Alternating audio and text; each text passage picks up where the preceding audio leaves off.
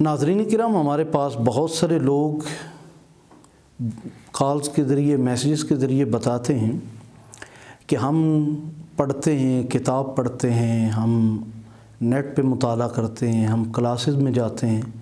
جو پڑھتے ہیں ذہن سے معاف ہو جاتا ہے، وہ علم محفوظ نہیں رہتا، حافظہ کمزور ہے۔ یا یہ کہ ہم مسلسل پڑھنے کے باوجود بھی اپنی میموری میں اسے سیو نہیں کر پاتے ہیں۔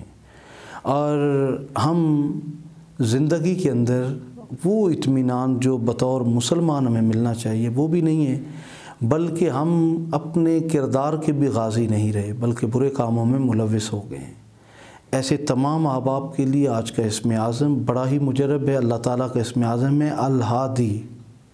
یوں تو ایک ہادی برحق کی آمد آمد ہے اور وہ اس زمانے کے امام امام مہدی علیہ السلام ہے اللہ تعالیٰ ان کا ظہور جلد فرمائے اور اس کائنات کو امن، سکون اور انصاف سے بھرتے الہادیو، اس اسم اعظم کے عادات بیس ہیں اور یہ اسم اعظم جمالی ہے۔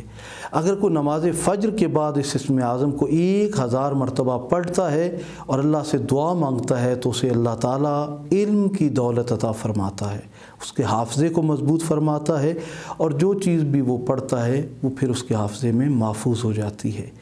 یہ اسم گیارہ مرتبہ پڑھ کر اگر دم کرے اور اس اسم اعظم کا نقش نیک ساتھ میں لکھ کر پانی میں گھول کر پی لے تو انشاءاللہ برے کاموں سے بھی وہ شخص محفوظ رہے گا اور اسے اللہ تعالیٰ نیکی کی توفیق دے گا۔ یہ اسم کثرت سے پڑھتے رہنے سے اللہ تعالیٰ کا خاص قرب نصیب ہوتا ہے اس اسم اعظم کا نقش حاصل کرنے کے لیے۔